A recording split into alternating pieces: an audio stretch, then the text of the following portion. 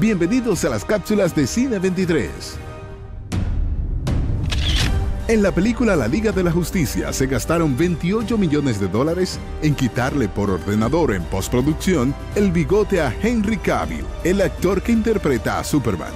Esto porque a la vez que grababa las escenas de la Liga de la Justicia, Cavill estaba grabando su siguiente película en la que por contrato no podía afeitarse el bigote, ya que era un requisito indispensable de su personaje. Debido a estos retoques por ordenador, hay escenas en las que la cara de Superman se ve un tanto cómica. Cine 23